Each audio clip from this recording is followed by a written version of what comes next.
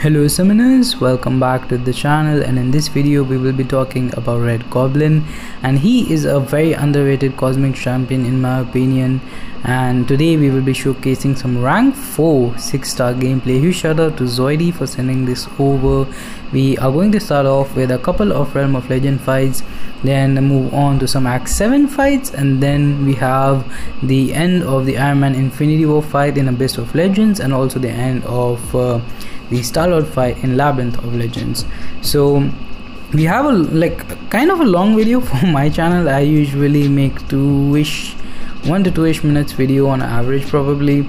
But uh, in this one, I will try to explain his abilities, his rotation, what he Zoidy here is trying to go for. In my opinion, like I uh, personally have not played this character that much. I have him as a five star and a six star and I have a rank like my five star one is at rank 4 I always thought that Cosmic Ghost Rider in a lot of ways took the spotlight away from him because they were both released in the same month.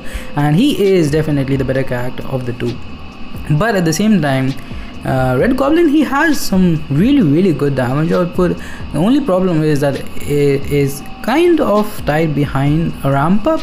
But at the same time I will explain here that uh, overall if you consider his DPS it's still pretty damn good. And he also has a decent amount of utility which is not very common in cosmic characters. And uh, let's just start with his kit and how he uh, how it works.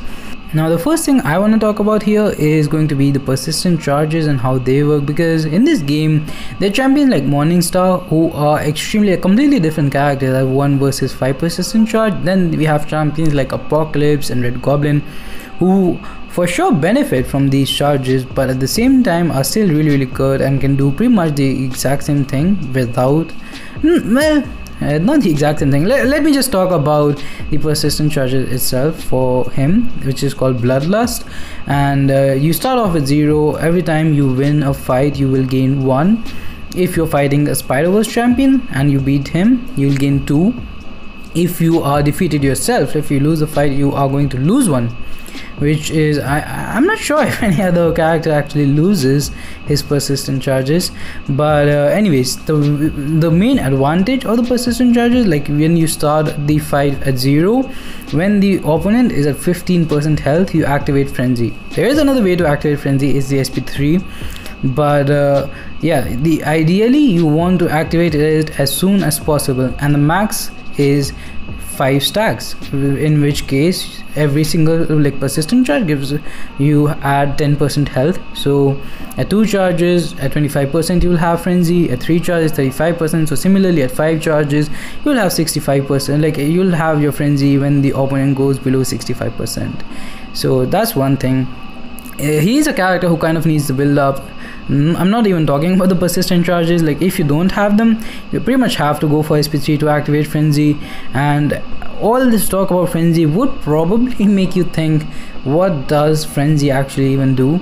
So uh, it, it, does two things. And in my opinion for attacker they pretty much the only thing that really matters it gives him more damage and more utility which uh, probably tells you why it is so important that you have frenzy. Uh, so the attack rating is obviously it increases your damage output but the utility you gain true sense buff. And what that does is it will like completely bypass miss and auto block and on top of that he is already a character who kind of ignores evade of spider-verse. Like uh, if you're fighting a spider-verse champions they won't evade. He's kind of like venom in that sense.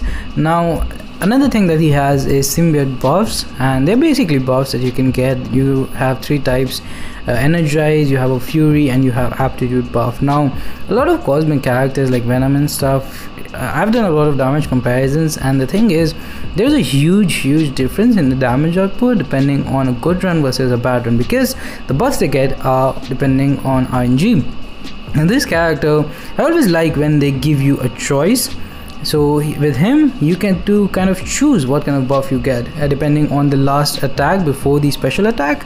So if you end your combo with a light attack and then launch a special you get energized. You end it with a medium launch a special get a fury. You end with a heavy launch a special get a aptitude buff and if you don't know what an aptitude buff it increases uh, the potency of fury precision and armor ups.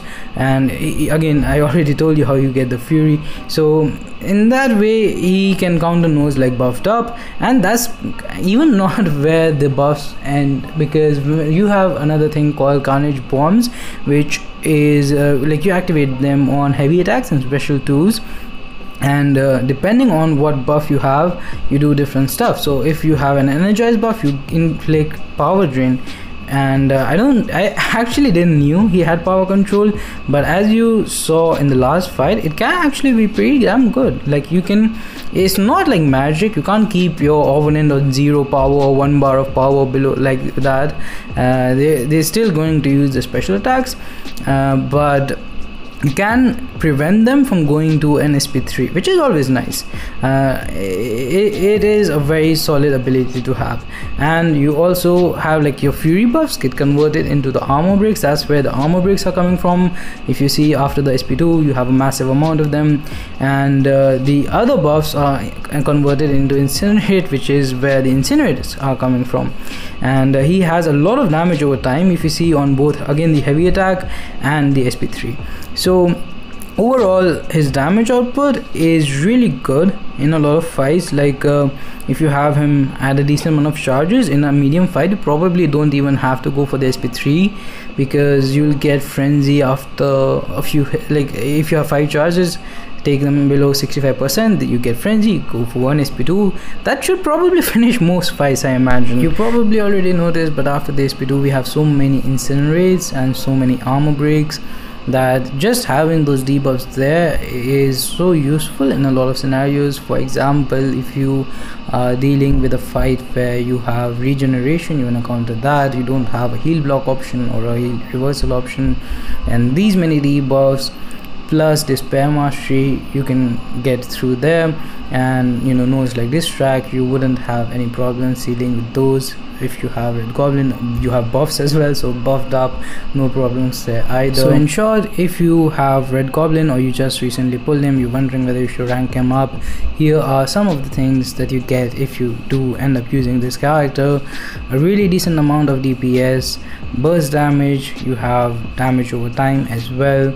Utility wise you have a spider-verse character counter no evade there. You can counter miss and also auto block with your frenzy you have a decent amount of very weird but effective power control. If you don't want your SP, uh, opponent to reach the sp3 you have your buff so you can deal with nodes like buffed up. You have your debuff so you can um, uh, deal with nodes like this track and uh, champions who have regeneration. And he's also immune to incinerate and power burn. I'm not really sure where the power burn immunity comes in. Uh, like is helpful but anyways if you have anything else then do leave that in the comment section. Like if he can do some other cool stuff counter some other cool nodes. And overall you just get a very powerful champion with a lot of damage output and a lot of utility. It's kind of crazy that even though he has it like has both of them. He's still not considered one of the best cosmic champions and there are just so many better options if you like if if you ask me even after this video that should i rank up hercules or cosmic ghost rider or you know uh, hyperion or even corvus versus red goblin that i will i will obviously say the other th those champions. They're better but at the same time it's uh, really amazing. It was pretty, kind of my favorite thing about this game that you can still get so much out of a champion. Like if you have uh, personally my favorite champion uh, once upon a time used to be mephisto. He wasn't the best but he got a lot of things done back in the day. And he was my first rank 5 5 star. And i kind of feel that red goblin is another champion that could be uh, your Mephisto in some ways. But that's pretty much gonna do it for this one. Thanks for watching, honey. Stay like this video, share with the land, stay safe, have a good one, and bye bye.